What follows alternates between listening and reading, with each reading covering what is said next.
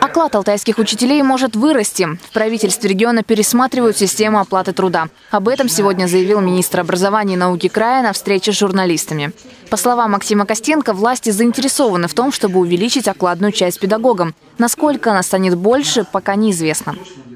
Наша задача защитить учителя, сделать окладную часть более значимой, более значительной, с тем, чтобы, как это помните в том фильме про, поросенка, про, про поросенка, про фунтика, кажется, больше можно, меньше ни-ни.